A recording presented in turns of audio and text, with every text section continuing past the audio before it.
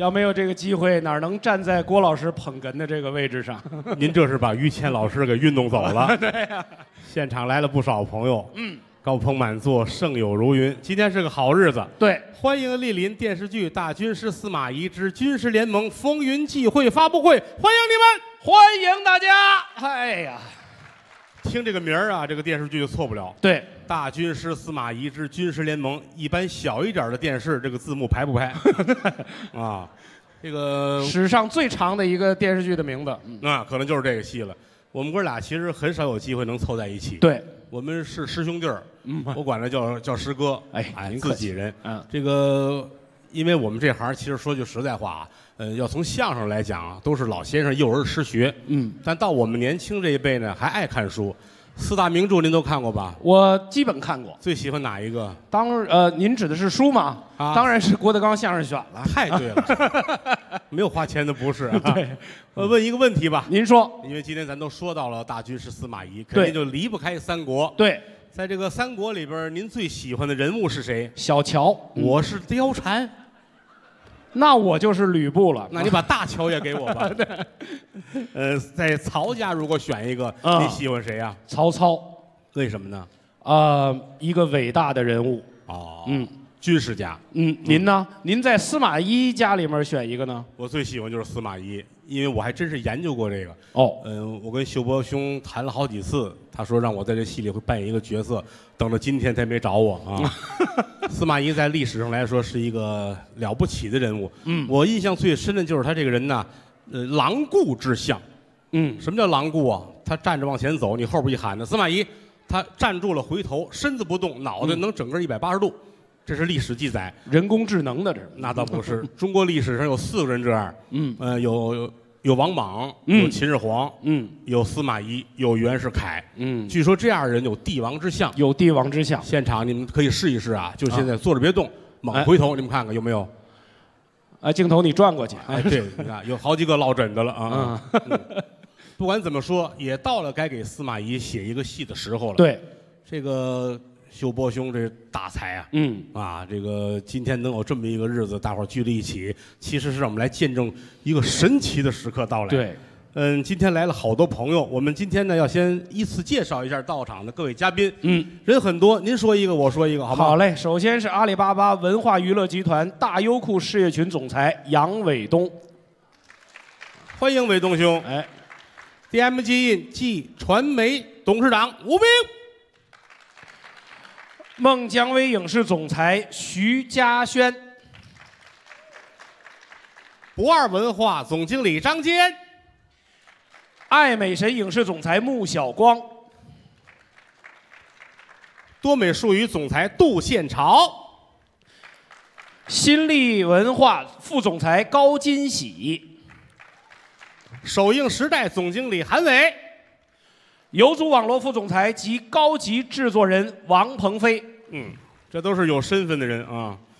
接下来我们要介绍一下今天的主创团队，我们的导演张永新，编剧长江。这是个女的呀，嗯还讲理不讲理了啊？啊，啊，好，到场演员有吴秀波，你看人家这俩刘涛、李晨、于和伟、翟天临、张芷溪、王劲松、张赫、来喜、王东。苦难中也有希望。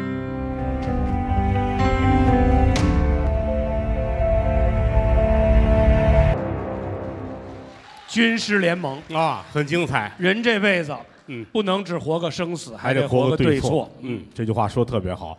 我小的时候说书的时候学过一段时间的三国，好。但是一般说书的先生都不爱提到司马懿这儿，为什么呢？因为前边热闹，到三、到司马懿这儿，乡村号三分归一统，等于他把三分归尽，嗯。人家给收了。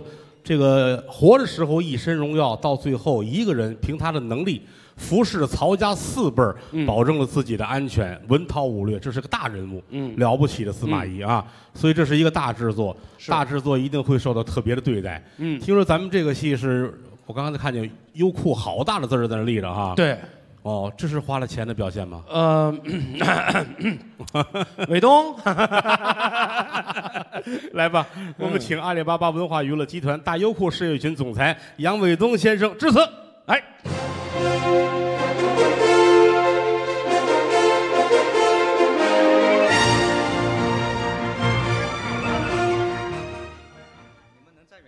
不可以，那话筒是公家的，嗯，给他换个有有电的啊。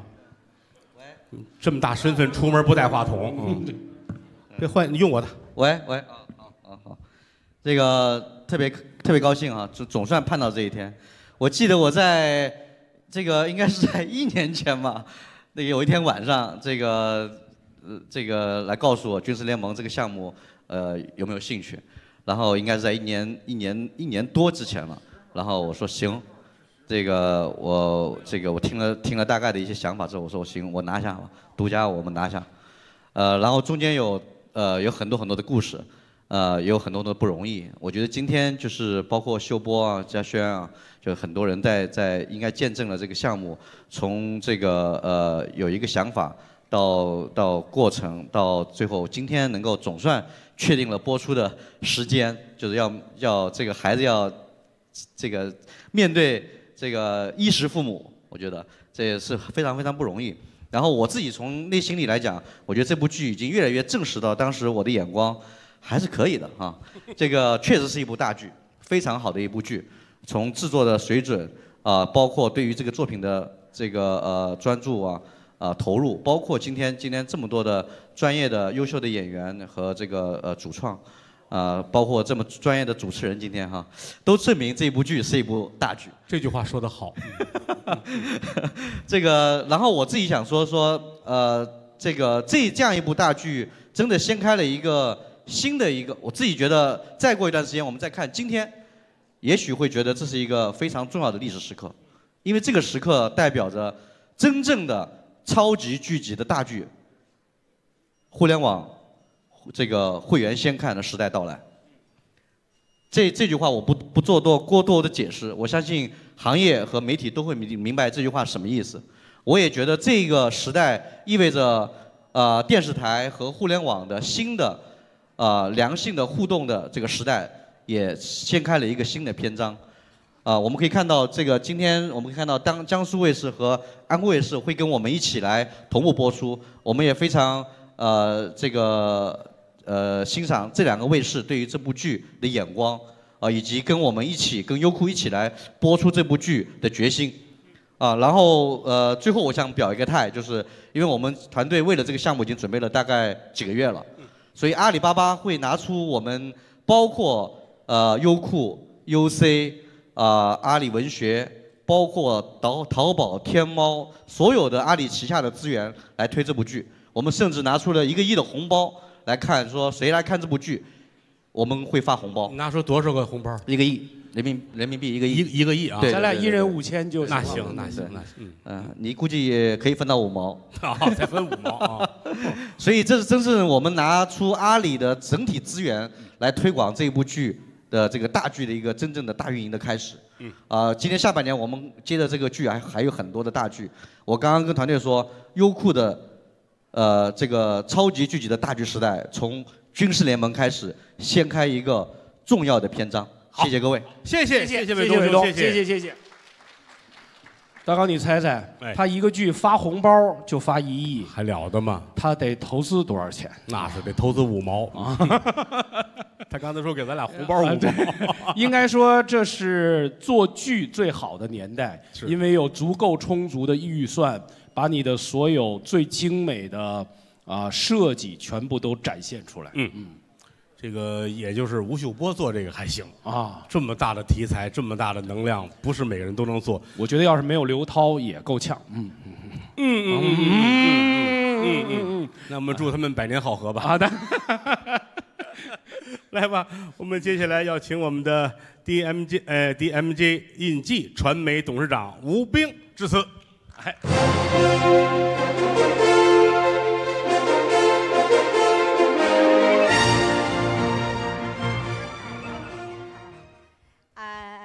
每次呢和媒体朋友们见面呢，其实都是我最开心的时刻。我总说一句话，就是因为又有好的消息呢和大家分享。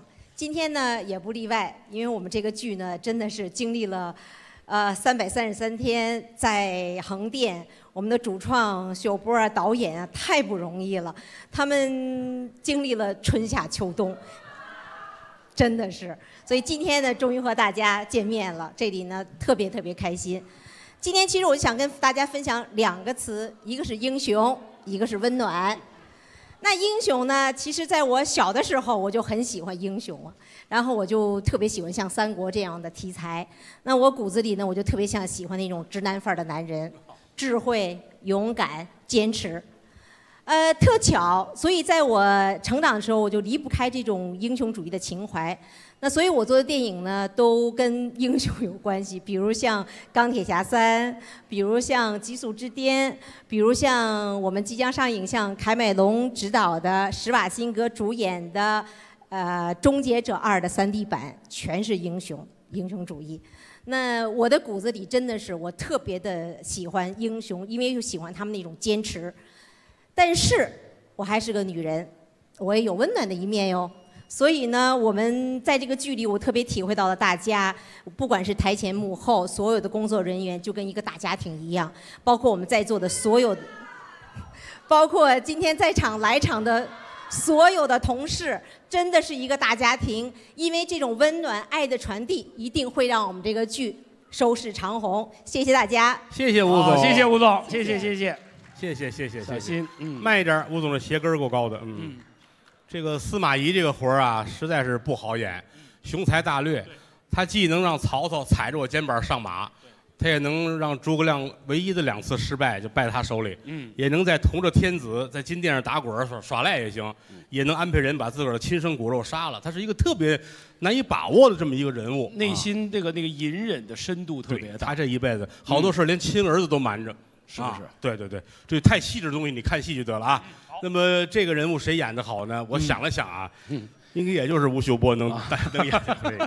这事儿是您定的。那么，在在拍这戏之前，倒是在我那儿吃过一回饭啊，然后让我等好消息，就等到今天了。嗯，接下来我们有请总制片人吴秀波和总导演张永新一起登台。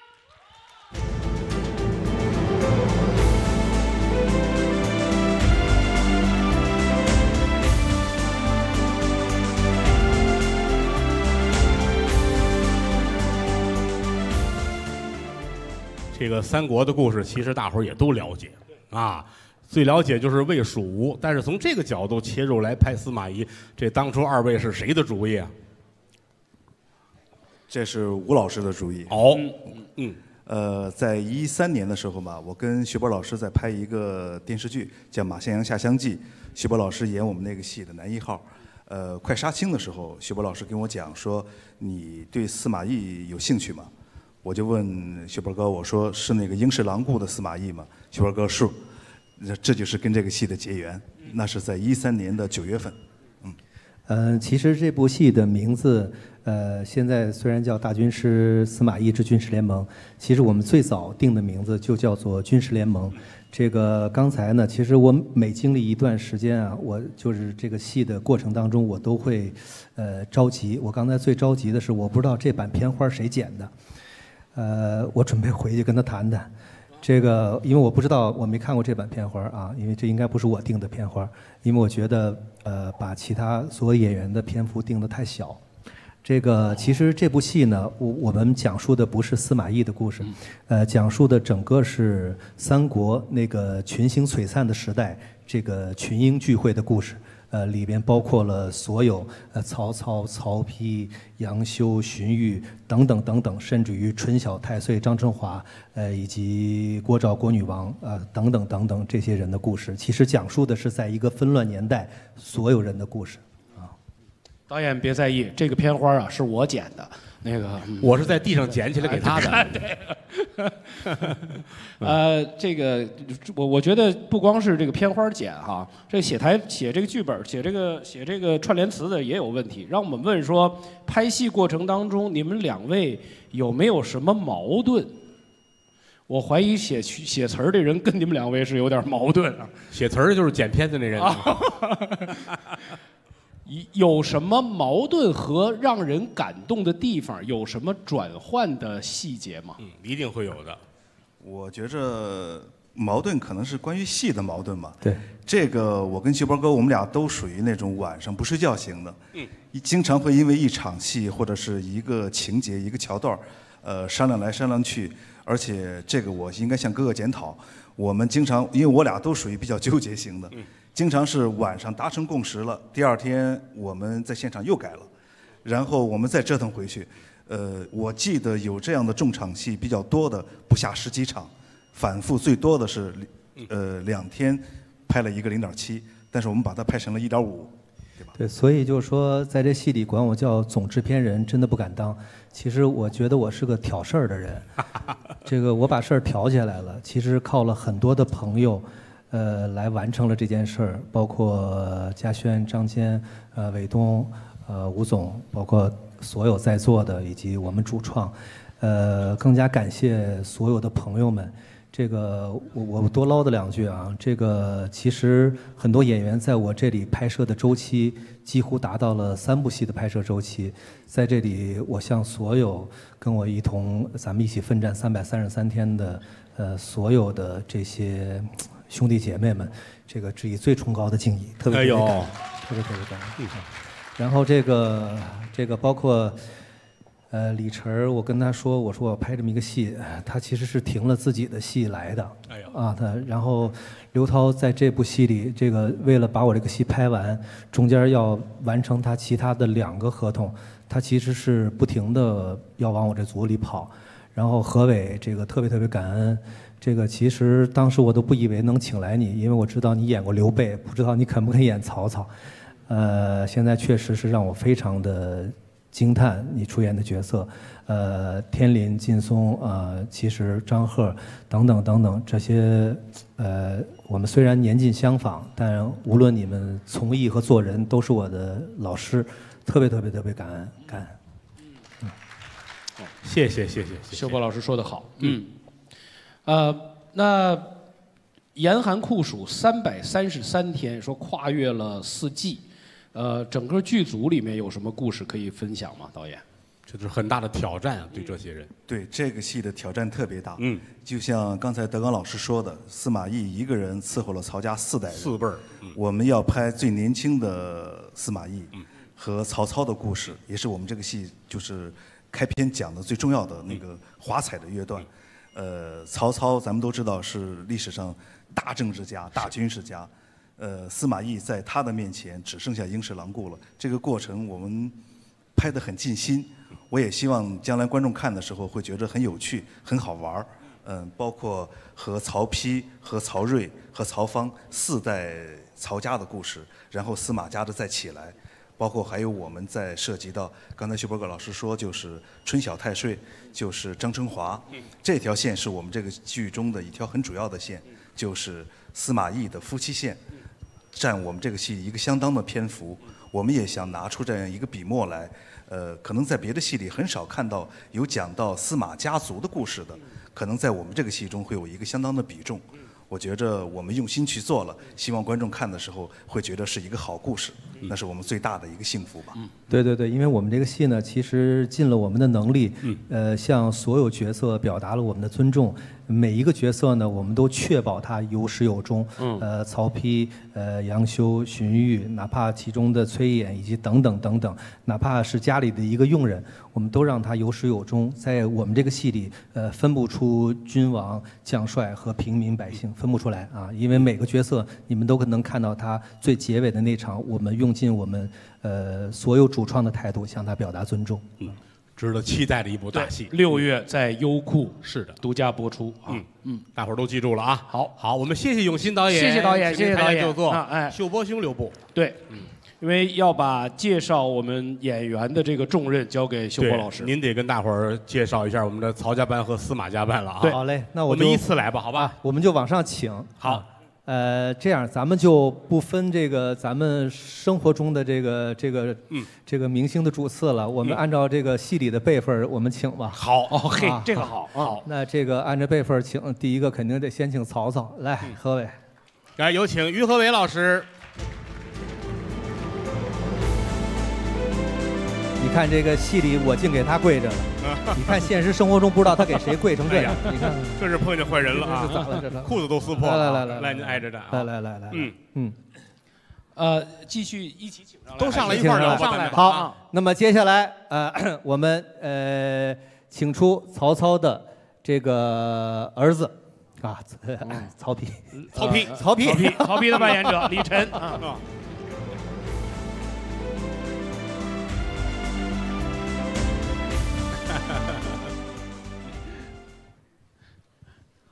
您继续请。哎，好，然后我们就我就按照顺序了，哎挨着来吧。啊，对，来，呃，杨修，谋士杨修啊，翟天翟天临，翟天临，嗯，来，由臣，大才子哎杨修。由臣汉臣荀彧，好，荀彧，荀彧。王劲松老师，王劲松老师，哎，劲松老师请。嗯。一看就有文化啊，对，文若眼镜儿。兄啊嗯，还有有，哈哈哈，有请甄宓的扮演者张芷溪，好，欢迎张芷溪，哎，洛神啊，洛神，来，终于来女演员了啊，嗯，我都快睡着了，站台上。全啊，是男的。嗯，来嗯，这个曹植的扮演者张赫，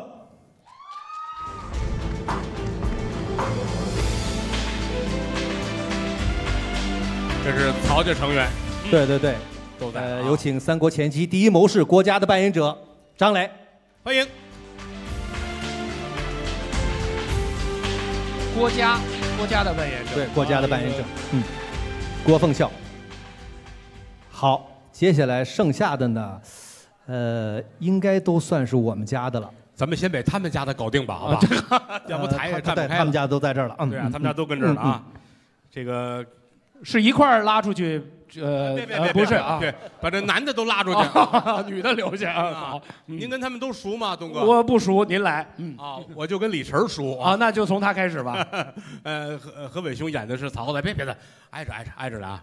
曹操雄才大略啊，啊，我对啊，所以您我们刚一听说您演这活儿的时候，脑子里转了好几个个儿，因为各式各样的曹操，对，每个人心中曹操样儿不一样啊。嗯，我想了想，嗯，这个曹操也挺有味道的。对，觉着在这个创作的过程当中难吗？呃，我觉得挺有意思的。呃，首先非常感谢秀波啊，呃呃，好像是一六年年初，呃，当时然后这个跟我跟我打招呼，说这个叫我过来演这曹操，我心想我演过刘备，我演曹操行吗？呃，秀波真的非常非常诚恳，然后去从剧本到最后整个的人物分析跟我沟通，我觉得啊，直到今天啊，这个这个结果，真的我觉得非常非常呃，这次的出演曹操，首先非常感谢秀波，呃那个，然后我觉得就是剩下就是创作的事儿了。我觉得在创作过程当中，秀波也给了我莫大的鼓励，啊，经常说，呵，这个曹操，以前谁让你演刘备的？现场现场经常是这样，所以特别开心，也特别幸运。听说您在剧中有一段短歌行特别精彩，是吗？啊，短歌行，现场来都来了，我们尝尝吧。啊尝尝啊。啊，哎，贺伟老师，哎，鼓掌。那个短歌行在现场是唱出来的。好啊，啊，那我就唱了。来吧，还等什么？等我找一下调啊。哎，好，谢谢啊，唱的不错，尤其刚才这，烦你还没唱，没唱呢啊，没好嘞。唱呢。明明如月，何时可掇？忧从中来，不可断绝。哎，虽然说没听懂，但是我支持你。嗯，唱的有昆曲的味道。啊，而且他有那个苍凉的那个自己的劲儿在里边哈。他可能是裤子冷，你知道吗？在戏里面，他有对这个短歌行特别好的展示。嗯，嗯，这得期待一下啊！期待一下。嗯，好，那个陈儿，对，陈儿是资深演员了，对啊，这个老艺术家了，我都是看着他的戏长大的。对，来到这么一个精益求精的剧组，你有什么感受？嗯，我怎么突然觉得接不上了呢？那个这次我也是跟那个何伟哥有同样的感受。为什么？因为其实当接到波哥电话的时候是很很开心和激动的。为什么？因为其实做演员都想和。呃，很好的，自己心目里很认定的那个人去合作。那其实我们认识也很久了，但是一直没有机会说找到一个合适的这么一个一个平台、一个空间去去合作。那当我接到波哥电话说：“晨儿，你干嘛呢？”我说：“啊，我说那个这不是刚准备筹备呢吗？拍戏呢？哎，我这有个项目特别好，就跟我说了整个咱们这个军事联盟的这个事儿。然后我当时就觉得，我觉得不能再错过这个机会了。于是我就停掉了自己手里的项目，我说。”来，对，我说我一定这个我多插两句啊，因为这个我跟晨儿最早认识是在一次活动上，然后晨儿跟我说说，呃，秀波哥，那个呃，我我我我我觉得咱们演戏应该挺合得来的，呃，我们想一起，如果以后你有机会说咱们一起能合作一个戏，你叫我我一定来。呃，然后我第二次见晨儿呢是在《离婚律师》，呃，他来。帮助串戏，但不是我叫的，然后是杨文军叫的。我就跟晨儿说：“我说晨儿，这次不能算是我叫那次。然后这次呢，因为我们必须实话实说啊，像晨儿这样的演员，他自己呃完完全全可以独立演一个大戏的男一号。那么我做这个戏呢，呃，再怎么军事联盟，他也是讲司马懿的故事。所以我说晨儿，我想请你来给我演曹丕。呃，然后晨儿。电话里接的电话，第一句说说秀波哥，我记得我第一次见你说的什么，说你等我三天。然后，呃，这三天我稍许有点忐忑，我不知道什么意思。然后三天以后，晨儿跟我说说秀波哥，我可以能能来了。呃，说因为我把我的剧组给停了。哎呦。啊，对。停了自己的戏。对对对，所以就是说，呃，我以为我找对了人，就是说在现在的这个世道里，还有如此有。像呃这种古风气节的人确实很少，在此真的非常非常感人。真好，真好，真好，让人感动。不是不是，这就那句老话，交朋友，哥俩好得换来一边大。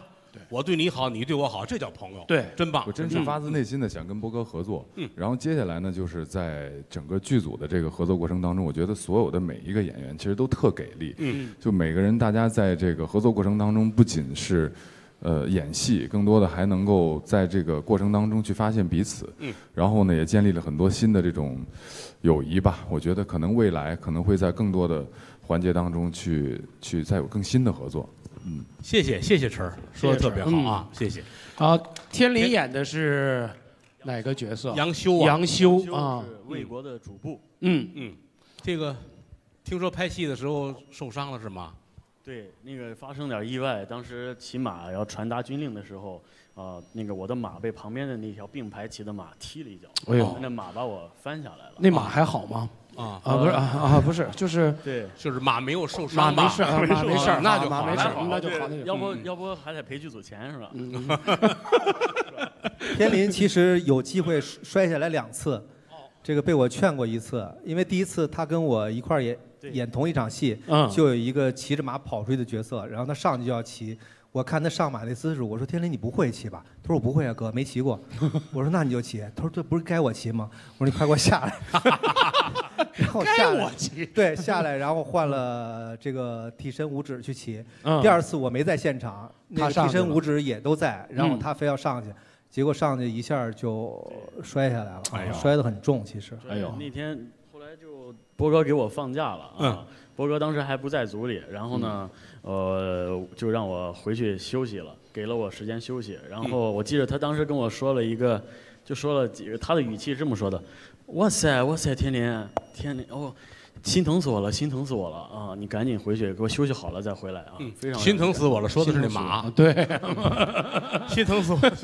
天林这真的是特别好的这个 这老实弟孩子弟啊，特别乖啊。嗯，现在没事了吧？那个就是手落下了一个伤，这个伤是治不好的。没事，买块表就行。一戴对，其实我们后期演戏啊，也确实因为他们三个人的戏比较早，这三个人啊，确实在开始演的时候，我们都没当事儿，你知道吧？因为就觉得，哎呀，还是拍一个戏嘛，一开始没想太多，结果没想到这三个人开始演的，让我们觉得都太有压力了。对，因为我也确实，哎 我我真的是觉得他们在这戏演的太好了，所以给我们压力特别大啊。也没想到那个非常感谢我们的这个总制作人把这个，主要是我跟波哥呀合作很多次了，从心术啊啊离婚律师很多年前就认识，像哥哥一样。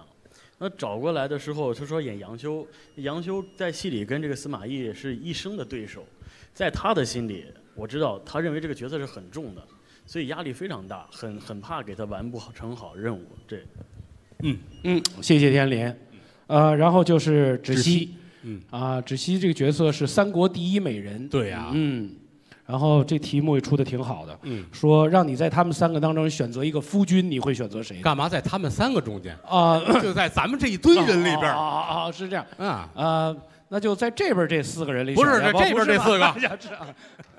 你瞧这位置正好在中间，让孩子说话啊。对，嗯，好，呃，我觉得我会选曹操吧。啊，我倒是在月光宝盒里演过曹操，那个月光宝盒装得下你吗？我倒演过曹操啊，是吧？嗯嗯，这为什么选择曹操？对呀，因为我很欣赏他，而且我觉得他很霸气。嗯，对。这叫简单啊啊，对对，嗯，可能得有爸爸的气质。哦，对，因为历史里可能也是因为曹丕确实对甄宓稍微有点不好啊啊，嗯嗯。何伟兄说曹的什么？曹丕是有真爱的，他的真爱是郭照，嗯 对他不喜欢甄宓。发现征服的时候，其实是我跟那个曹丕一块儿去的。但进那个月亮门的时候，他比我早进了一步。你看腿长就是有好处啊 要不都耽误这腿上了呢，是吧？嗯好，谢谢好，芷溪谢谢啊谢谢芷溪，然后劲松老师，哎，演过好多戏了，当然了啊嗯，呃劲松老师比我比比比电视上看着更加消瘦。以后买个好电视啊，好嘞，嗯，对我我我身上反映出来了，那个电视剧组的伙食质量不是很好，看。吃的不好，对，伙食标准很低。嗯，劲松老师这次的这个角色是荀彧，对，荀彧，荀彧在这儿，在后边那一块板。荀彧，荀彧，如果用一个词儿形容荀彧这个人，会用什么词儿呢？寻找喜欲。哦，那是另外一部剧啊，线下播出。嗯，写荀彧的诗有很多，我记得有一句叫“风动令君香”，他是啊，对，是，你看看是风动令君香，有资深的观众啊，他是一个品格很高的人。嗯，而这是我在我从小喜欢《三三国》这本书里面形形色色的人物，我是比较喜欢他这个人物呢，就是他的这个品性啊，他的这种坚持。啊，这次也是非常的有缘，然后我能演到我自己喜欢的、我自己理想中的这个人物，嗯，这这是挺高兴的一件事儿，就是就是太短了。就是太短了，我那天一翻看，我十几集就死了，我死那么早干嘛呀？然后那个我们一开始这个所有给年轻演员那个看的戏都是这个劲松老师的戏，嗯。一进组先说你们先去看看劲松老师的戏吧，对，要 不然这压力太大了都。太欺负人了这个组。啊嗯，好，谢谢谢劲松老师，哎，谢谢。张贺老师，张贺老师这个角色是曹植。啊，我老在板曹植。后边。哎，曹植这个角色其实最难演，嗯，因为不是曹真哦，是曹真，曹真哦曹真曹真嗯，曹真这个角色比曹植还难演，你还有个准儿吗？哎，对是。那你是怎么演的呢？啊，我是按照曹曹植那样演的。你们换人吧，要不？啊太好了。跟我们说说吧，拍戏的过程当中。呃，其实拍军师是一个特别呃从没有经历过的这么一个过程，因为刚才好像有位女士说了，我们拍了一个春夏秋冬这么一个戏，所以现在突然回想起来，还有一个词儿印象特别深刻，就是酸爽。因为我们正值炎夏的时候，我们的衣服非常非常厚，天天基本上我们这些演员都是在被水泡着的状态当中在演戏，所以说啊、印象非常深刻啊、也非常感谢这次能波哥能让我参入到这么一好的一个团队当中啊、来诠释这个曹真。呃，我记得当中有一次波哥好像是对有一场戏，他来司马懿二十年没有去过曹真府，有一次来了。就这场戏，我们到现场之后，波哥有想法，有想法之后我们就停下，停下一直在商量这个事儿。不知道波哥还记不记得？我印象很深刻。那天是晚上七点多，我们十一点多到现场了，七点多才开始拍的第一个镜头。然后那天晚上波哥是拍了一个通宵，我们都拍了一个通宵。波哥还比我们晚走，我们还早收。那天突然之间，我跟刘花在这儿有一个当中要有休息的时间，波哥就过来站这儿。哎，你俩知道那个速效救心丸怎么吃吗？我俩就吓了一跳。我说哥你怎么了？他说没事没事，我就是问问。所以说真的是我们那戏辛苦，包括对创作上的这个较真的这个劲，这个认真是让我到这个团队当中特别美好的一个经历啊、非常感。恩。嗯，谢谢。谢谢。嗯。啊，扮演郭嘉的。那不是，我觉得刚才啊那个疏忽略了一点，真的，其实我们在这边拍戏的时候就很冷，你知道吗？就是在横现店是吧？太冷，嗯尤其是内景穿的多厚，带着那种假的毛领子都没事儿，一点事儿都没有。为什么？因为横店有装了五十台空调，在嗯棚里面，另外一个棚装了八十台空调。我真的觉得那时候我们是在一空调仓库拍的。对，因为那个时候，那时候我得穿着帮那大夏天最热的时候，我们组里我们的总制片人为我们所有的演员在棚里面安装了空调，非常非常的，我觉得那个时候整个横店所有人最羡慕的就是军事联盟剧组，一看，哎呦，怎么人家这还有空调的 在那里面？你你这让人家没有安空调的怎么办？不是，因为我是演员，就是我知道演员啊，他在某种状态下，他基本就不能演戏了。嗯嗯啊，然后，哎这是然后想起来了这就是空调的厂家啊赞助商对，名字一会儿再报，空调名字一会儿再报。不是因为每剧组其实能那天我还发了个朋友圈，我记得特别清楚。我说，哎呦，我说我们的总制片人给装了空调，我说突然觉得剧组有了人情味儿，我说真的是特别感动，就是那种你知道他时时刻刻在替别人着想。不管是你们的饮食、起居、住宿，甚至是工作环境，是我觉得就是大家那股心里的那股劲儿，就觉得一定得把这戏拍好。呃，晨儿，真的，你你在那儿拍了这个戏，拍了三百多天，整个这个过程当中，冰冰还好吗？啊有我呢啊常常去剧组。呃，终于这个最后的这位呢，有是来探班有来探班啊，对，有来探班有来探班，有来探班班啊！人家最后这位是真正的曹家人，对曹磊，哎，但扮演的是扮演郭嘉，呃扮演的却是郭嘉，郭嘉，对，嗯，好，没事了。嗯，哦，来来来来来来，郭嘉是极聪明的人，郭嘉郭奉孝，对，嗯，呃，首先，呃，我跟波哥也是刚毕业就跟波哥在一起拍戏，呃，一一别十年。我在组里的时候接到波哥的电话，真的很兴奋，然后说很直接，曹磊，呃，我现在下面要拍《军事联盟》，你愿不愿意过来演郭嘉？一晚上没睡着觉，嗯，因为郭嘉我知道在历史上在曹操身边是一个非常优秀的鬼才军师，嗯，如果郭嘉不是英年早逝的话，我想三国往后的历史可能一定会改写。哦，所以在这儿啊、呃我今天才知道波哥《军事联盟》里面所有的演员都是波哥亲自一个一个打电话请来的。我觉得，嗯，总的制片人波哥心里面的这份格局，我觉得我感谢波哥。嗯，曹磊说的好，感恩啊。所以作为一个英年早逝的角色，你演到第五集了吗？呃，我演到了第八集。哎呦，那不错，赚了，第赚了，那不错，赚了，不错了，已经很，不错了赚了，了，赚了。第八集出场，第八集死是吧？我是这么，我们这戏里有一句常说的话，别把我放在火上烤。好，那这就是我们曹家的全部阵容。来，对对对谢谢各位老师，谢谢各位台下就坐请就坐，谢谢谢谢。好，然后要请要请司马家的，要请司马家的了。对，等他们安静一下啊。对，话筒。换一好话筒，有没有？喂喂喂。啊，好，那接下来这个我就请一下这个我司马家的。首先我要请我的夫人张春华，但出呃夫人你先别别上来。啊那个我按照我每天呃去剧组进场时候的状态，我跟他一起走上来，大家可以看一下。哦哎呀呵，嗯，来，让我们一起当当当当当当当当当当当，夕阳红啊，嘿，啊，哎，对，其实每天呢，因为我那个戏啊，我们戏演的后来，我们俩越来越老，嗯。嗯，我们就每天互相搀扶着往现场走，天天这样啊。对，每天都是我搀着他，对对对对对，啊，哦，没有，他怕摔倒。这点好意给糟践了。来把这个话筒声音，Hello。对，喂，啊，呃，咱们继续请。Hello Hello。好，修波兄，好。继续请，嗯，呃，来，那接下来请我的弟弟王东，司马孚的扮演者王东，司马孚的扮演者。司马福啊嗯大帅哥，来来来来来，欢迎，嗯，快来，快来吧，一会儿我们再讲我们的故事。嗯，啊。慢。慢来啊。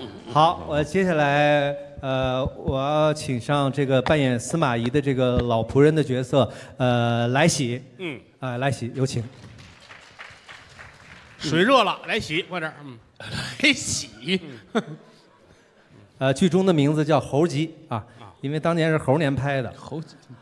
好，呃，接下来呢，这个呃，请出我的两个儿子，哎，这么些个呢？哎嚯，瑶瑶和剑次啊，嗯分别饰演司马师和司马昭。嗯，来吧，两个。谭健次、肖顺尧呃，啊，他们长大了也就没我什么事儿了。来来来来来来来，你看一一一看就是啊我生出来的。那是品种不一样啊，呃，确确实这两个还真是你生出来的。啊对对对，个顶个的帅。对对对，呃，然后呢，这个呢，剩下这个我不是特想请。怎么呢？对我刚才想给他归到那边去，后来一想，他确实还算是这边的。嗯，啊，有请吉布的扮演者来，思雨，有请。欢迎，回来，来，您哎请我们一会儿再讲述他跟我吉布的扮演者。哎，一会儿再讲述他跟我太太的关系。哦哦，没事儿，这个急不得。那值得期待。嗯对，嗯嗯，好，是不是都上来了？齐了吗？齐了哈。好，嗯，好，这个得您给我们介绍啊，依次对挨个说一说。嗯我我见过他以前，我好像横店拍戏，我见过他啊。是是是，这个呃来喜儿啊哎，这个我们俩相识呢，呃，在于那个马向阳，呃，马向阳下乡记的这个时候，他演我也是演我边上的一个会计。嗯。然后这个我就哎呀，我就想他，我那时候跟导演，我们同一个导演。张永新导演嗯导导导演的《马向阳下乡记》，然后我们那个时候啊，因为那个戏呢，它讲述的是农村的生活，有的时候喜剧素材呢有有些匮乏，一到这场戏不好看的时候啊，我们就说这场戏不好看怎么办？说把来喜儿叫来吧，嗯他就是这么一个演员。哟，啊，然后他这个给我印象最深的是我们那个马向阳那个那个那个财务箱里有了六百块钱，然后给了这个会计就六张纸，他每数六张的时候哭一遍，每数六张哭一遍，因为就数六张钱，我都做不到，我就问来喜儿，我说你这是真哭假哭？他说我真哭啊，哥哥。呃，我当时就觉得演员了不得，然后我就说，我接下来拍戏，你最好能都来。然后我跟他说，我说我要拍一个呃这个军事联盟，他说他呃，那你把剧本给我看看。他回去了，认真看了一下剧本，然后第二天给我打电话说，哥，我把剧本都看了，呃，你看我是演曹丕呢，还是演曹植？啊，你就给他拉黑了啊？啊，对 对。然后我说我说这都不行，我说咱们再重新设计一个吧。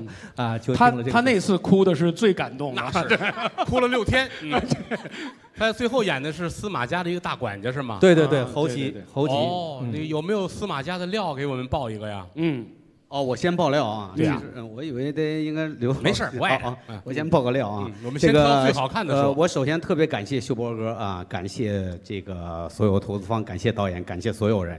呃，秀波哥刚才说了，这个原来并没有我这个角色，我确实说，我说哥，你看我演哪个合适？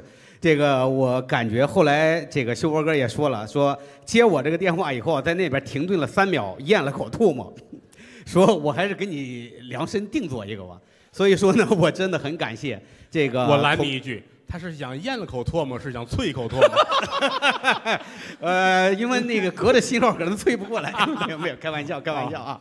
这个我特别感恩啊，感恩秀波哥。这个这个戏呢，我从开机的第一天一直经历了三百三十三天，经历了很多。这个要爆料的话，我算爆一个秀波哥跟导演的料吧，好吧，我说俩男的外的故事啊，这个不用，没关系的，啊，过吧。啊 俩男的没有什么可听的啊。有什么料？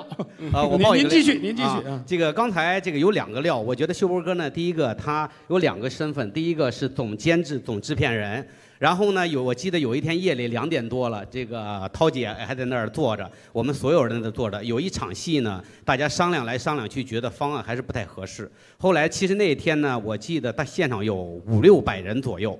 这个秀波哥说，咱们既然没想好的话，就把头套卸了，再改日再拍。我就悄悄地跟哥说，我说这样的话，这个成本是不是会越来越高啊？你作为制片人，他说这个要拍出好戏，肯定是要磨的。然后我们俩就出去，出了门以后，薛波哥转身回来还跟导演说，他说导演咱们不着急，什么时候想好了再拍。这个请他来是对的，嗯监剧组的会计。那是 一边这个数钱一边哭。是另外一个呢，秀波哥呢，我觉得我跟他的关系，第一个是一辈子的好哥哥，另外亦师亦友，他教会了我很多啊，停停停。停停停，行了行了行了行了，该主母说了，来来来来来来，就报到这儿吧，就报到这儿吧。啊，这不是爆料，对，这这不是爆料，这是啊。对对对对对，这个涛哥演的是春晓太岁，司马懿的媳妇儿。其实，在影视剧作品啊，包括舞台剧上，很少有人提到这个人物。嗯，但是我我我没看你们的戏啊，我知道历史上这个司马懿，比如说有一段时间曹操找他去干活去，他不愿意去，假装有病，我身体动不了，跟院里晒太阳。有一天晒晒太阳，这个下了雨了，晾个书，他怕有这段吗？对哦，有这个是吧？哦，那这个这个故事好看了就啊。然后就是他看书要被雨淋湿，起身去拿书，被丫鬟发现了。对那个丫鬟就唯一一个知情人，就是被他太太做掉的。我不知道你们怎么处理的啊？就把他干掉啊！哦，那就对了。这还用想吗？那就对了，干得好，必须干干得好。你看后面这还拿着刀呢，这就哦啊，是一个有武戏的这么一个角色是吗？对，我觉得其实他就是个感觉像呃有勇无谋的悍妇，就是谁倒都谁是本色啊谁 都别来招我，更别来招我们家。对，啊稍微再温柔一点就是悍妇了。不是，他就就是个悍 妇是吗啊，就是随时随地有人来我们家，我都是第一个出去挡的，嗯，然后，呃，在我们夫妻之间其实是有很多很很有趣味性的戏，就是可能别人觉得说你是一个特别厉害的女人，但其实呃，在很多夫妻戏里呢，其实反而是很有情调的一个一个一个夫妻关系，这个戏有没有感情戏？各种。比如说起床之前的戏有没有？我们有床戏哈，有床戏。哦，那就值得期待啊。这个呃，刘涛扮演扮演的这个春晓太岁张真华，其实呃，在戏里看，其实我一直觉得我们这个戏啊，呃，是呃，从很大一部分程度程度上来讲是个家庭戏，是个家庭戏，呃，两个家庭的戏。这个刘涛扮演的张春华是我们整个司马家的主心骨。嗯。啊，其实我我跟他在一块演戏的时候，总有一种感觉母母子的感觉。您真客气，嗯，不是不是，就就是听他的，这也是夫没没得捧了。夫人的气一定要有这样的。表达这份感谢了啊。对对嗯，我记得我记得你们拍戏的时候，咱们正好那个《喜剧总动员》的时候吧。对对对，每天就这这儿完事，我得赶紧走，凌晨三点我得上机场，可怜极了，就那会儿啊，天天的在现场还哭。是是是，他非常的辛苦，他这么辛苦，他在这一年的拍摄中不辞辛劳的拍戏，还教会了我喝酒啊。哎，我问你一个事儿，这个好多人缠着秀波哥喝酒，然后他实在喝不了了，然后跟你视频一下，你拿这个视微信视频就已经喝倒了一圈人，是你干的吗？不是，是这样的，啊是因为因为军事联盟要杀青的那一天，大家特别的感动，然后所有的演员就在秀波的房间里面，然后都很就就就痛哭流涕。嗯他说不，这个时候我要找我的夫人。嗯那时候凌晨两点多钟，然后他就微信，我在想什么事儿这么着急？特别兴奋吧？对，然后微信视频说涛哥你看，然后一溜。哇，塞，就好多好多的人，嗯说我们必须要跟你喝一杯。嗯我说这什么情况？两点多钟，我说那你等一下。嗯然后结果我说那我去找一瓶酒开，结果我一开就是就是你想。这就是视频杀青宴，就是大家痛哭流涕的那个感受。嗯他跟我说的时候，就是满脸的感恩，尤其有一句话我记得特别清楚：“涛哥就穿个吊带儿啊。涛涛涛，我没有说这话，这句我你记得特别清楚你肯定说了，我因为没有时是不是？是的，我没有。你是不是当时穿的那到底是穿了吊带还是没穿穿吊带背心，穿背心，背心，背心背 背心。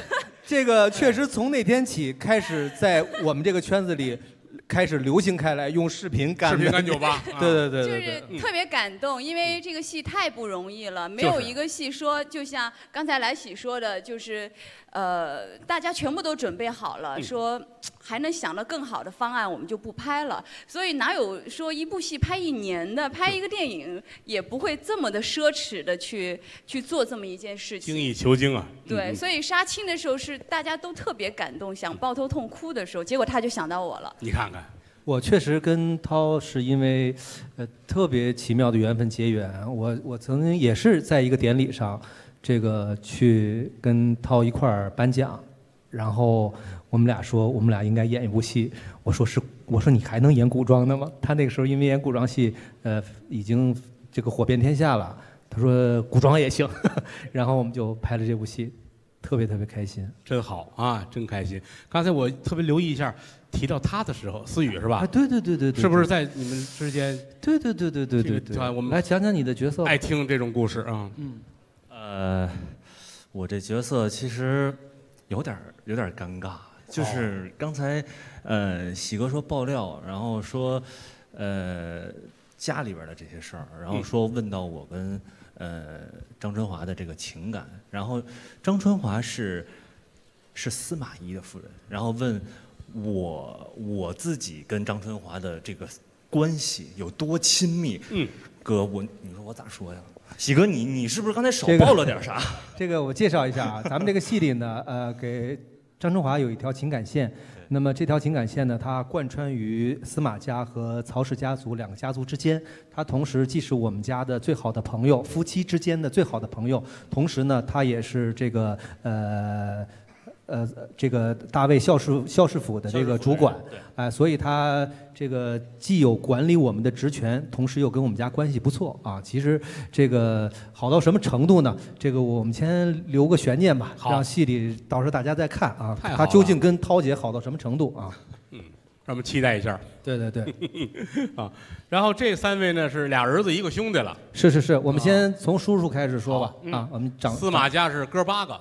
对司马八达。司马八达嗯，您是几达？我三，他老三哦，对对对，舒达，那就是啊，舒达，舒达，舒达，舒达，嗯嗯。对，郭老师，你还有什么问题要问？没事了，好。你说快快说两句啊啊啊！跟我们聊一聊。对，那个我我我觉得啊，就是说那个别人叫那个呃波哥，这我得叫老师，呃真真是要叫老师，因为我在这部戏里的成长远比我在之前所有的时间成长的速度更快。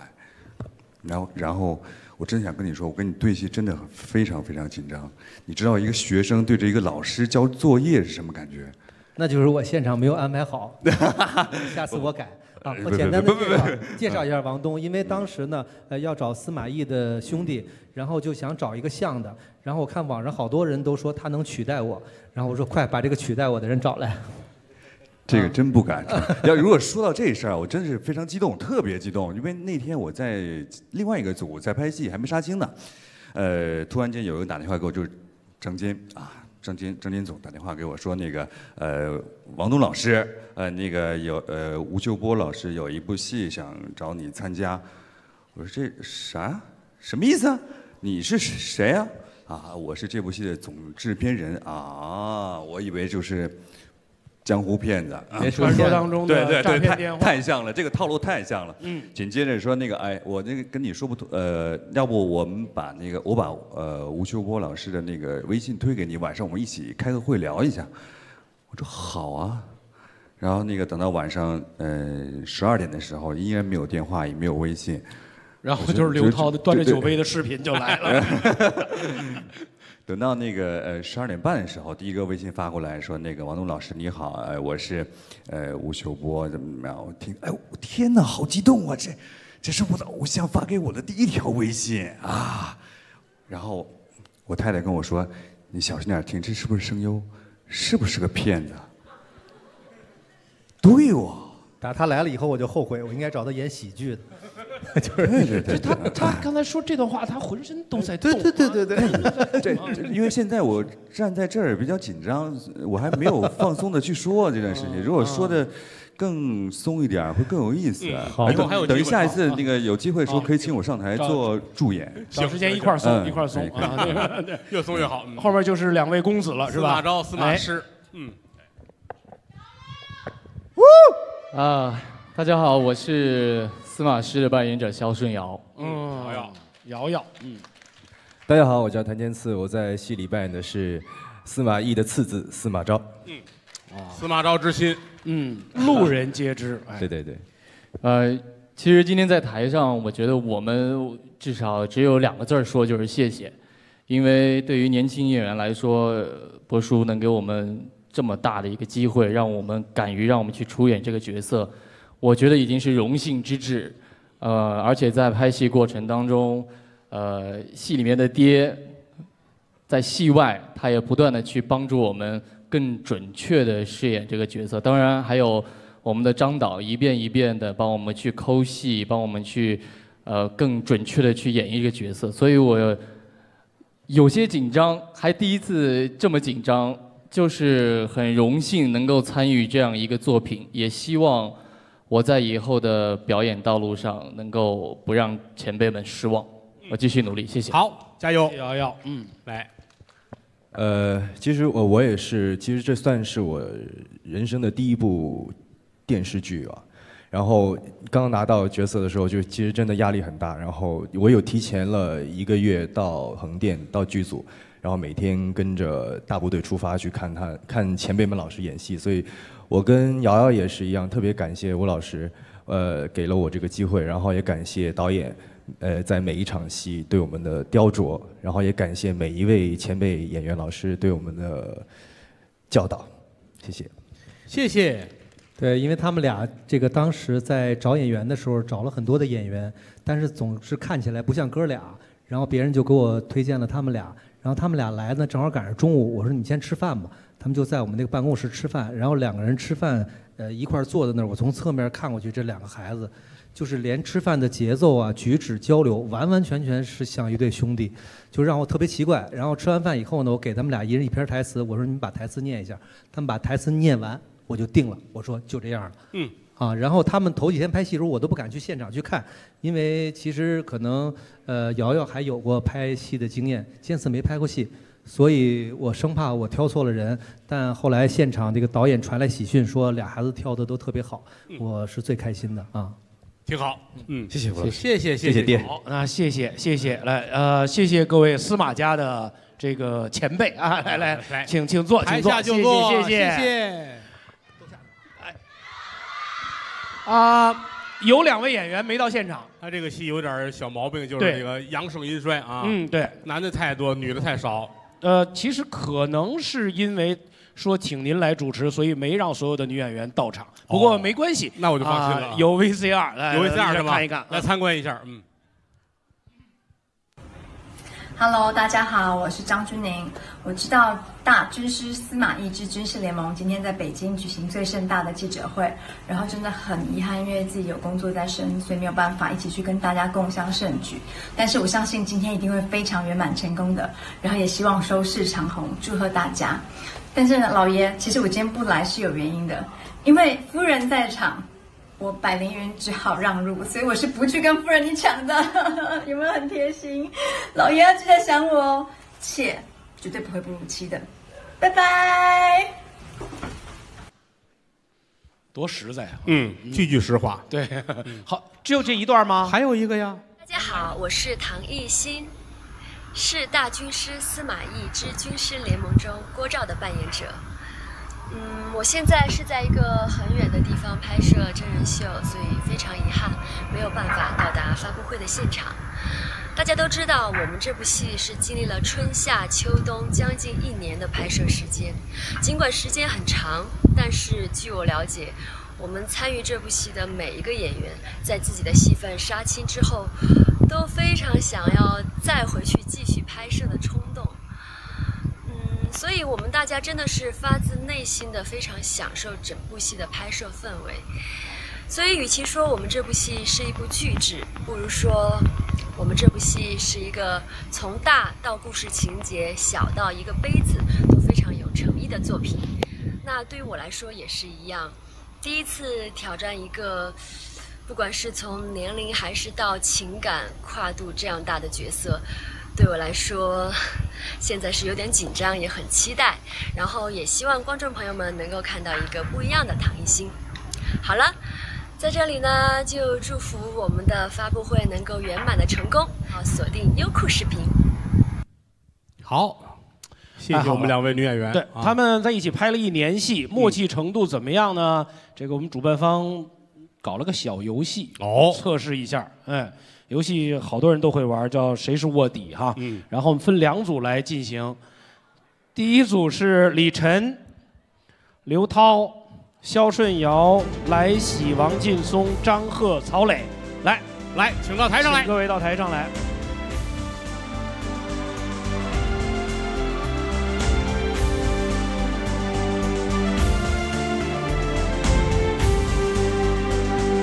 来，李小姐，哎，好，这几位往这台上一那个我能让马东替我吗？他替不了你什么？我怎么？那你教我，你教啊，我。我我我不害你，你放心，我绝对不害你了。你放心，有我呢，没事儿啊对，你不会死在他手里，你会死在我手里。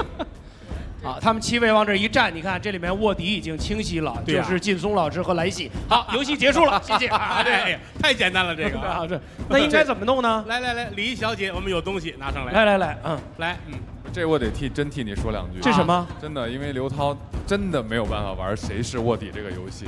马上就会露馅儿的啊。这谁是卧底到底在前面还是在后面？呃，你们谁都不知道是什么，然后你会看到的，我看你那是什么？就每人都会看到一个名字，看到一个名字，然后自己要用一句话去描述出自己的这个名字，但是又要互相猜。然后你们再投票。对，对，你们这里边你们是有俩卧底，五个平民。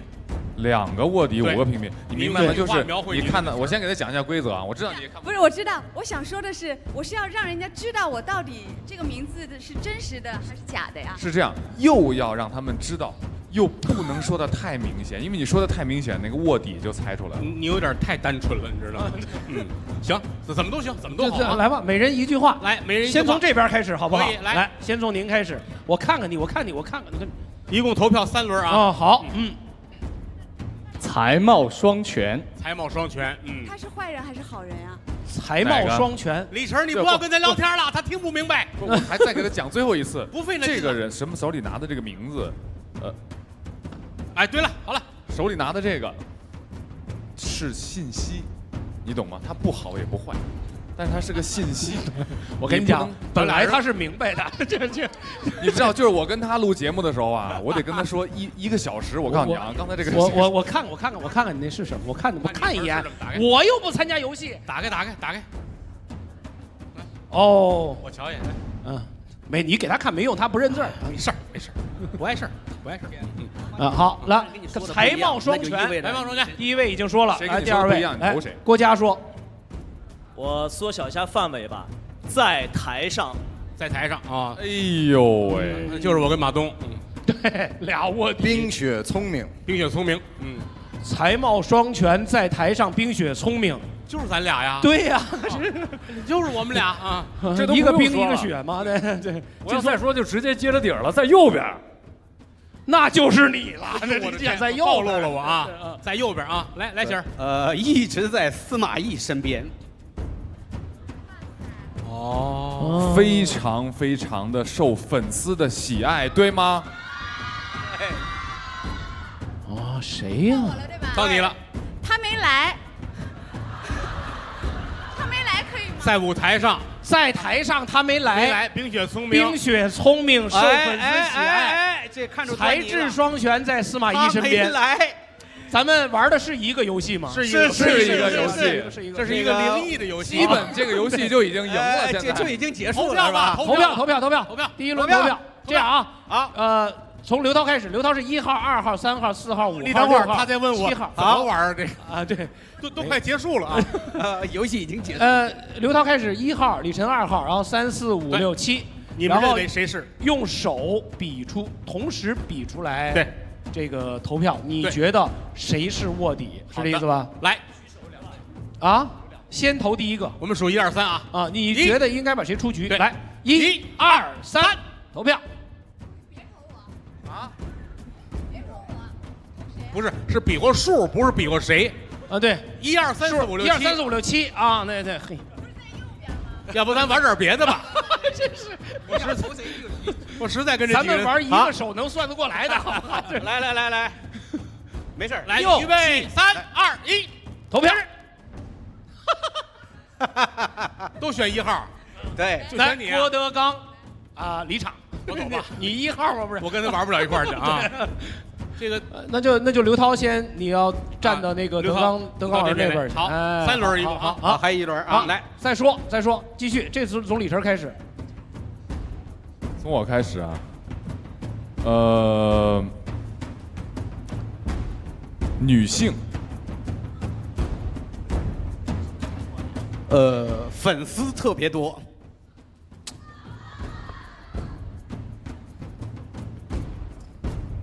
特别护家，强悍，特别护家，这是有这里有动物吗？没有吧？这 没有没有没有没有。你说什么强大是吗？强悍，强悍，特别护家啊。刚说完悍妇，嗯，嗯，描述一下郭嘉同学。十分好看，较有政治谋略。哎，这个呃，好像是出现了不太一样了啊。对来，第二轮投票，想好了啊。现在是二号到七号，二号到七号啊，四五六七，来，三二一，投票。嗯，七号，七号，七号，您站那边去吧。过来吧。嗯，游戏还继续吗？游戏还继续吗？咱们就宣布吧，要不就两个卧底是不是？啊，不对啊，宣布吧。就两个卧底，就两个，是就两个卧底吗？没错对，对，就两个。就俩卧底，就俩卧底。对对对对对对对，是一样的。我们就直接宣布吧，每个人啊先说出自己的那个什么来，我看看结果是什么好不好？李晨是谁？张春华，张春华，你呢我也是张春华，张春华，你们在哪？春华？你呢五个张春华，你们两位呢？你们俩的举起来。我跟你讲，俩卧底全给找出来了，哎呀，太真挺灵了准确了，太还行吧准确了啊！还行还行。我怀疑他们都知道答案啊。嗯，眼睛小聚光，的这是啊。对，眼睛小，看得很清楚。那就这这轮成功了呗。谢谢你你们一。说他没来，就肯定漏了，因为大家都说了，其实是你在诱。对，姐我都我都没来，就我道都看着你的粉丝说，我说粉丝众多，你都不知道我说的这个意思。你你说我是为什么呢？张春华，词儿啊词儿，你下去吧，词儿词儿，你坐，你坐一会儿。你别跟他费劲，他现在还没明白这游戏呢 啊！来听好啊！谢谢你们七位，给后面七位的那个一个示范，来，请坐吧。好，嗯快坐，快坐，快坐。后面七位本来应该会玩这个游戏的，这下会了。第二轮，吴秀波、于和伟、翟天临、谭健次、张芷溪、王东、陆思雨，接过他们的话筒，快来吧。玩这个需要智力吗？快来，学会了。前面他们都没有很好的隐藏自己。对，嗯，他不光是没隐藏，他们到现在可能还没明白什么意思。对，哎，刚才看完这一轮都懂了吧？嗯，懂了。好嘞，李小姐上手卡，来上手卡。呃，刘涛，你看一下，要是他们玩完了，你还是不懂，那真的那肯肯定是不懂啊，肯定是不懂。为什么要懂？李晨，你还给他讲，你还教他呢，你还教他，就啊就跟你懂似的，就是啊。但第一个说肯定吃亏，对吧？来，一人拿一份儿。一人拿一个。不不给我们答案吗？嗯，看来并不重要啊，还是原来那个。好嘞，我们从秀波兄这开始，还是一二三四五六七啊？啊，对，哎，一号、二号，一号啊顺啊。然后我们从这儿开始说吧。英雄，英雄，来，嗯。三答。足智多谋，足智多谋，嗯，何伟，什么词儿都能说是吧？什么都嗯对。得能播出啊。嗯。啊，骂街不行。对，小样儿，哎，行，他说小样儿，小天小天上飞那小样儿。啊，小样儿。呃，有名儿，哦，有名儿。哦，窒息，英雄足智多谋，小样儿，小样儿。这里还有东北人跟着掺和。对，呃，文韬武略，文韬武略，嗯，武略啊，好。哎，呃，司马八达之一。好，司马八达，这这一句话就把人搁里边了对呀，八大之一，嗯，隐忍，隐忍，对。隐忍，隐隐忍，不是不是隐忍，哦，不是隐忍啊，隐忍，我以为隐忍呢啊，吓我一跳，刚说完得说能播的啊，来再来再来。七投票吗？投票了，一到七啊，一到七号，三二，等等等等等等，得了。我们我们我们先呃我们先别别商量。三四五六七啊，对对是。啊对对对对对对对，你认为是几你就比划几就好呃，了。来，三二一，投票，投票。三三三四六四三四四三和四，三票三个是几票？三个是三票，三和四出来 PK。啊，哎，对，三号和四号出来 PK。小样和有名 PK 呗，嗯，那小样先。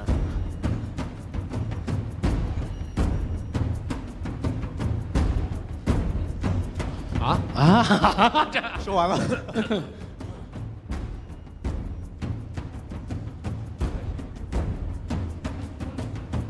咱们头播出之前还说得出来吗？差不多都是。呃等会儿，等会儿，等会儿啊，啊差不多嗯，呃，最怕跟这样的人玩游戏，牛我想特别多，你知道吗？我愿意跟刘涛那样的玩游戏。对呀，你看啊，牛气冲天，翟天临，他牛气冲天，你常常跟司马懿在一起。这个好，剩下你们五位，他们俩不能投票啊。剩下你们五位在只能在三和四里面投，嗯只能三和四。你们挑吧。太太明显了，这个就结束来来投票，你们五位要投票啊！三二一，投票。三四哦都有。四都是四。那天林，你谁投的三？天林出来出来出来，上这边站着来。对，好，从从从从建设开始了。那我觉得不用继续了，下一个卧底肯定是他。那你怎么知不知道我先把坏人投出去的？来，你都不知道，好吧，来来吧。来啊，那哥哥你说，那我缩小范围了，呃，我来，我来啊，呃，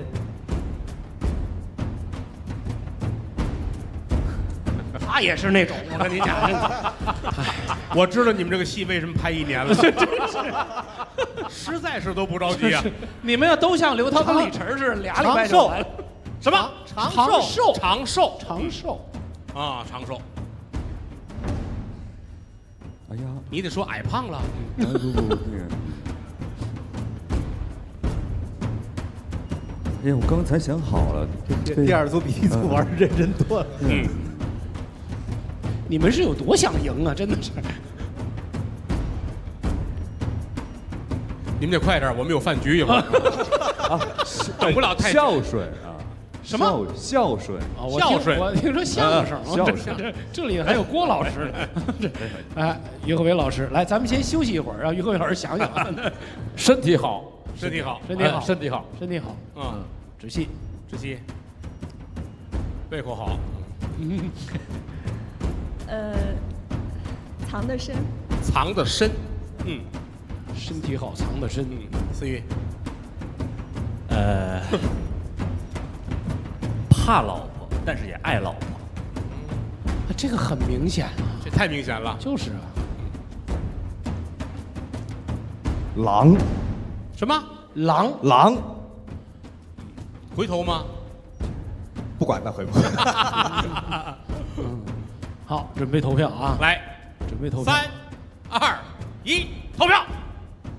真的，修波司马懿都没你想的多，你这到现在他也不伸手指头，还琢我只要投三就行了呀。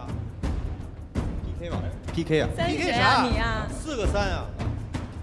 不用 PK，不用 PK，四个三。来，这个何伟老师，您您那边也也没话了，也不能说了是吧？吴老师，不能说你知不能说不能说不知道卧底如果知道答案是可以跳出来自首的？你说你知道答案了就行了，第三轮，第三轮啊，我知道答案了。你可以跳出来。我知道答案了，他们就我们其他全完了。人都输了，就对就可以我知道答案，我刚才就知道答案了啊。他他他们所有是卧底拿的都是司马懿嘛。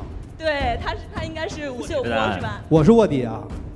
卧底，我拿的而且他已经知道我们是什么了。他拿个曹操哇，那是我赢了对吧？曹操藏得太深了。你你们是你们是什么？都打开看看。我早就说他肯定不是。还有谁是卧底啊？他肯定是。啊是啊出去一个曹操，他也曹操，对，他俩杨修一个就暴露了哎，那我为什么说有名，所有人都推我？这个太广了。杨修先走一步啊。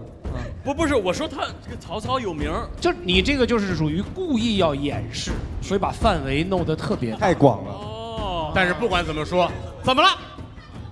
看懂了，不行呀！再玩一局。好的，来，玩一次不行，来，让让刘涛一个人玩一局，要不？他一个人能玩一局啊？真的懂了，真看懂了。哎呀，给你个机会，你和李晨上来，你们俩上来，来呀上来呀玩一局，快来快来，不玩了啊！没事，咱们下半部玩。我跟你讲，玩也得输，真的，因为从那儿走到这儿他就忘了。啊，这样不管怎么样，还是要请所有的演员、所有的制片方，要请韦东总，所有人到台上来。我们还有哦，有一个哦，有个 VCR 是吧？游戏的 VCR 啊，好好好，来看一看。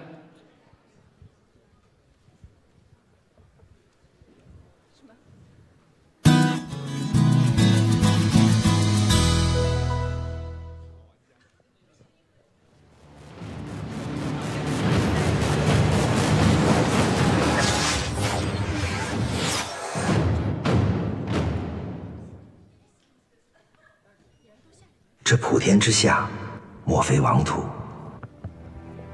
率土之滨，莫非王臣。共无渡河，该怎样渡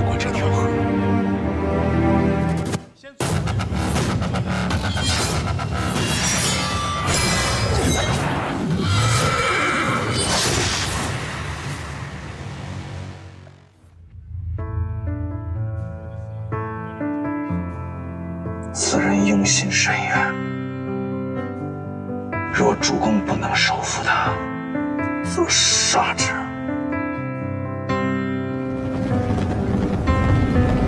待朕扫平叛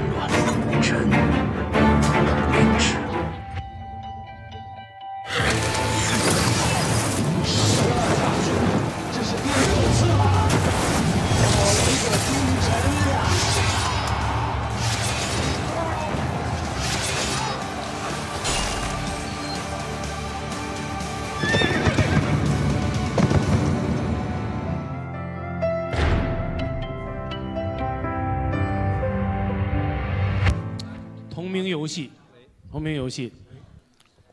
来，我们有请。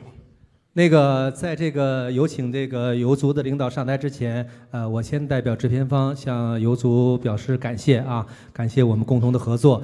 呃，这个呢，呃，我就全用了这个我的头像，因为用任何人的头像都不合适，我说那就用 用我的吧。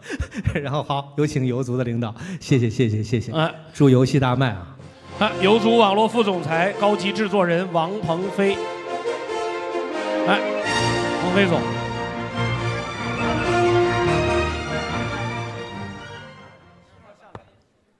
大家好，我是游族网络的菲菲，也是军事联盟游戏的制作人。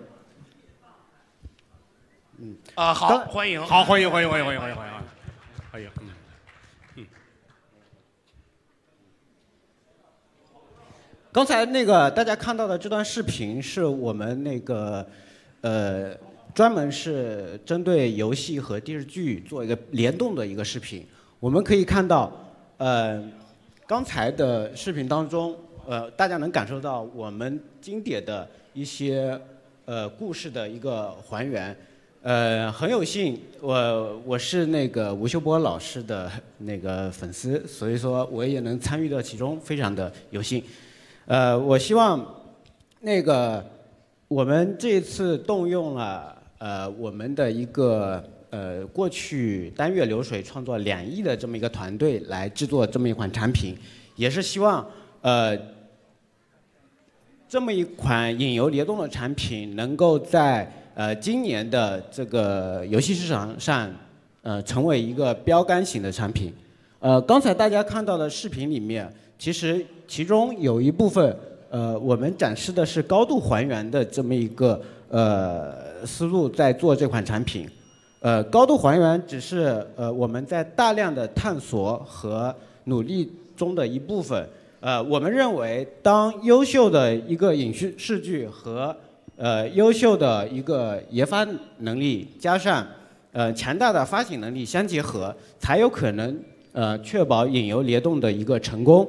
呃，在这里呃，我希望大家嗯、敬请关注我们游戏的正式。